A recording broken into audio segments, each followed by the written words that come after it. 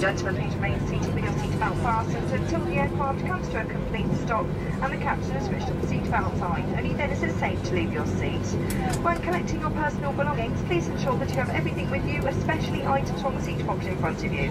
Any items of lost property will be handed to our agents here and not returned to the UK. Please be careful when retrieving your hand luggage from the overhead compartments as these may have moved during the flight. If you've checked in a child's buggy, you'll be able to collect this with your luggage in your arrivals hall. Ladies and gentlemen, thank you for observing our no smoking policy. We ask that you continue to do so until you are in a clearly marked smoking area of the terminal.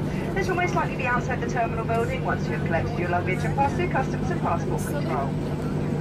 Whether you're staying in a hotel or boarding on one of our cruise ships, you will need to purchase a visa. For customers who do not already have their visa, before you pass through passport control, you must go to the separate visa desk.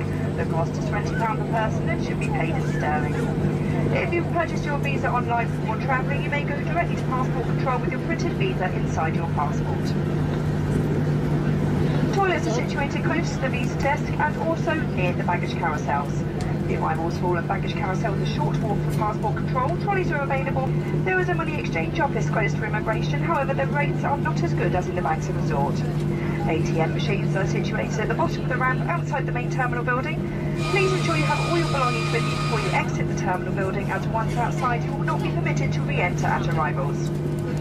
If you've pre-booked a car hire, the desk is located on the left-hand side after you've cleared customs and before you leave the terminal. Due to airport regulations, the TUI airport team are not permitted to enter inside the arrivals hall. Instead, they will be waiting for you outside of the airport terminal building.